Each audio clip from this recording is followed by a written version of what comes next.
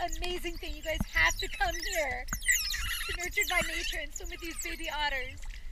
It 100% guarantee you will leave feeling more joyful than you've ever felt in your entire life. Oh.